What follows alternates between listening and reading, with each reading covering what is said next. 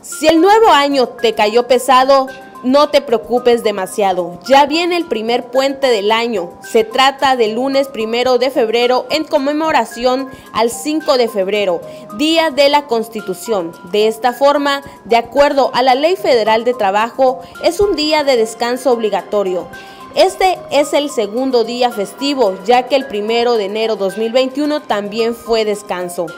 Para el primer puente del año, el escenario optimista plantea una ocupación hotelera de 61.6%, la llegada de 1.446.000 turistas a hoteles y una derrama económica en centros de hospedaje de 3.483 millones de pesos.